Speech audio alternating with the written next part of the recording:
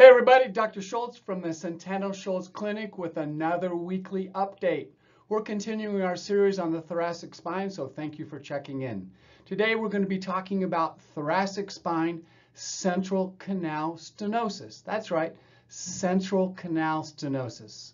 So let's get started.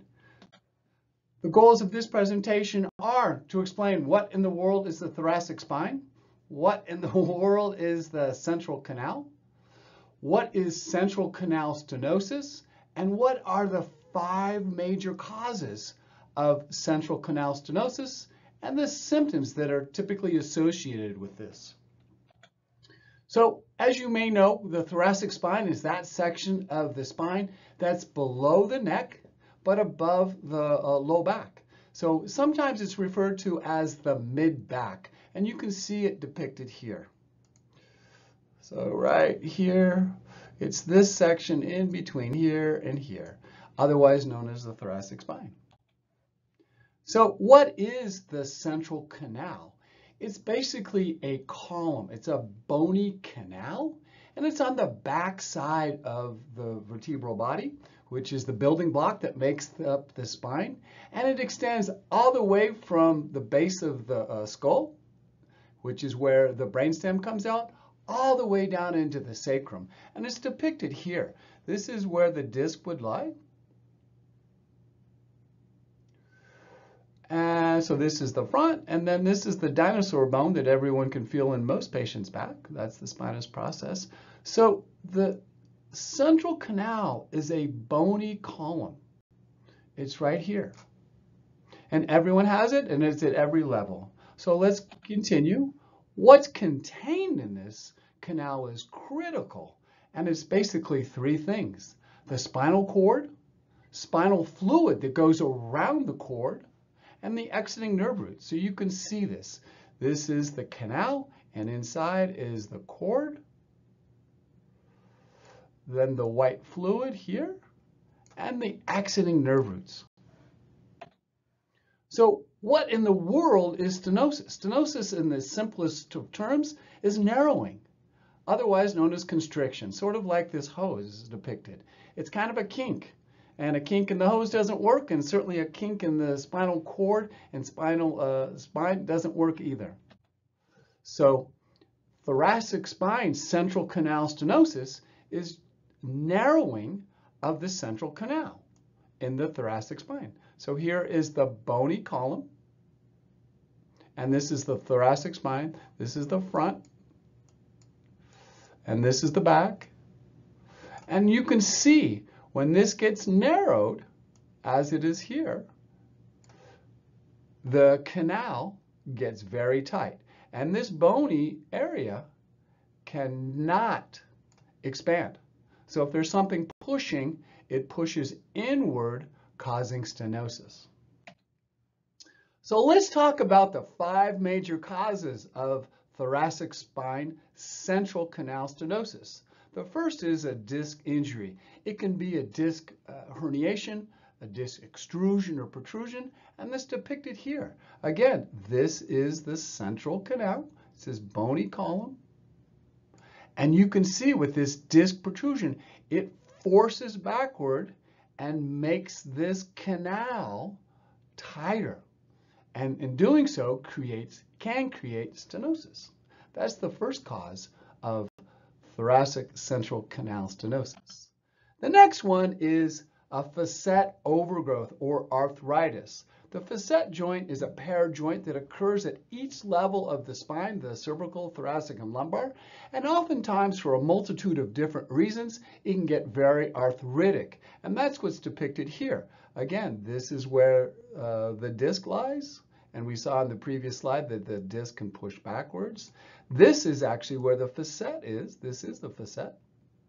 And when it gets arthritic, it can actually push in to the central canal, causing central canal stenosis. That's the second way in which central canal stenosis occurs. The third way is thickening of the ligamentum flavum. Now, this is a side view of the spine, and this is the T9 and T10. And again, this is a side view. And you can see the anterior longitudinal ligament, which is just a piece of duct tape. Ligaments are pieces of duct tape, the POL. And this is the supraspinous, this is the interspinous. And here's a really important one. It's called the ligamentum flavum. This ligament can get beefed up as depicted here. And when it gets beefed up or thickened, it narrows the central canal. And as you can see, this is another cause of central canal stenosis. And then the fourth cause of narrowing of this very important canal is a bone spur. And a bone spur can occur at any of these levels. It can occur on the backside of the disc. It can uh, occur in the foramen, basically the doorway where the nerve comes out, the facet, or posterior along the ligamentum flavum. And then the fifth cause of central canal stenosis that you need to know about is basically slippage of the vertebral body. You may hear of people slipping a disc. Well, it's actually the, the, vertebral body that slips, and this is depicted here. This is a lumbar spine. This is not thoracic. And what you can see is all these kind of are um, right on top of each other. They're perfectly aligned.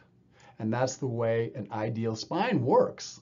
But unfortunately, as you can see here, things for a multitude of different reasons can get out of alignment. And you can see that this last vertebral body has slipped forward, and that's known as an anterior listhesis. If it were to slip backwards, it would be a retrolisthesis. But either way as a result of the slippage, you get narrowing of the canal, and hence you can get central canal stenosis in the thoracic, lumbar, or cervical spine. Now, what are the symptoms associated with thoracic spine uh, central canal stenosis? They vary depending upon the severity of the narrowing. They can include pain, restriction in range of motion, lower extremity numbness or tingling, even weakness. Patients may complain of difficulty walking, also leg pain with ambulation, and in severe cases, patients can have uh, bowel or bladder dysfunction. So thoracic central canal stenosis is basically narrowing of the central canal with potential compromise of the spinal cord and the exiting nerve roots. There are five principal causes that we reviewed. Again, a disc protrusion, facet overgrowth, uh, ligamentum hypertrophy, um, uh, bone spur, and then slippage of one or more of the vertebral discs or bodies. If you or a loved one are kept on the sidelines or prevented from enjoying life because of thoracic, uh, thoracic pain, consider giving us a call. The Centeno Schultz Clinic are experts in the evaluation and treatment of common and even um, severe thoracic injuries. You'll have uh, the option of a telemedicine or an in-office uh, evaluation where you'll get the opportunity to meet with a board certified fellowship trained physician. Again, this is Dr. Schultz with a continuation of the thoracic spine lecture. Thank you so much for checking in and I will see you next week. Thank you.